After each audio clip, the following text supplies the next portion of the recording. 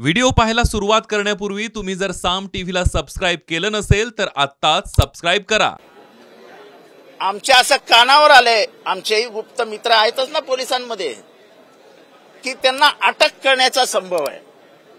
मी आज या सरकारला सांगू इच्छितो की आम्ही गांधींची मूल्य मानणारी माणसं आहोत. हे अटक फटक चटक चवळी चटक यांना काय आम्ही घाबरत नाही. ह्या फासावर तर लटकवणार नाही ना तुम्ही? म्हणजे तुम्ही भ्रष्टाचार करायचा. भूखंडामधले पैसे खायचे. दोन कोटी अठ्याऐंशी कोटीचा भूखंड दोन कोटीला द्यायचा. गुन्हा करायचा. हायकोर्टात सांगायचं हो माझी चूक झाली. आणि परत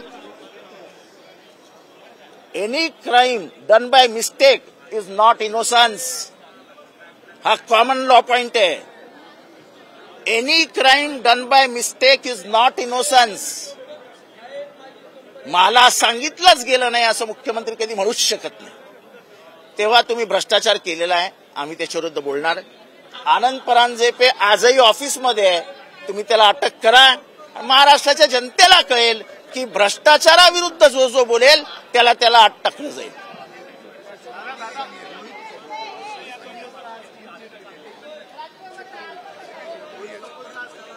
काय काय?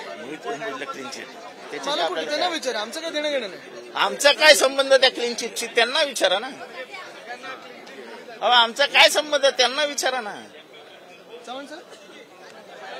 मला एक गोष्ट सांगायची की हे लोक कशी गैरसमज पसरवतात आणि दहचा मा करतात. आता काल त्यांच्यातल्या काही सभासदांनी आमदारांनी घोषणा काय दिल्या? एयू एयू म्हणजे कोण? त्याच्या संदर्भामध्ये अनन्य उदास असं स्पष्टपणे दिशानी सांगितलेलं आहे. रियानी. सॉरी रिया चक्रवर्तीने सांगितलेलं मा- मा- मला माफ करा. रियानी सांगितलेलं ते म्हणले की ती माझी मैत्रीण आहे.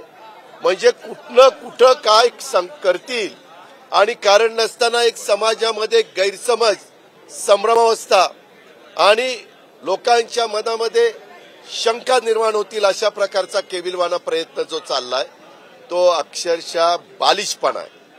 मला या सगळ्या गोष्टीची त्यांची क्यू करावीशी वाटते. आणि त्याच्यात केंद्रीय मंत्र्यांच्या पासून सगळे त्याच्यात इन्व्हॉल्व होतात. ही अक्षरशः लोकशाहीची थट्टा आहे. ठीक आहे तुमचं सरकार आहे.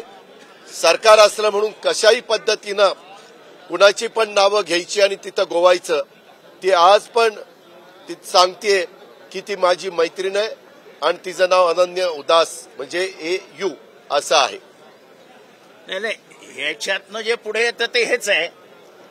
की माझ्या बाजूला उचलेले आमचे बंधुतुल्य सहकारी आदित्य ठाकरे यांच्यावरती एसआयटी बसवायची दर आठ दिवसांनी त्यांना बोलवायचं मग तुम्ही जाणार टीव्हीवर दिसणार. आणि या बत्तीस वर्षाच्या तरुणाला हे सरकार किती घाबरलंय हे महाराष्ट्र बघणार. महाराष्ट्राला याची कल्पना आहे.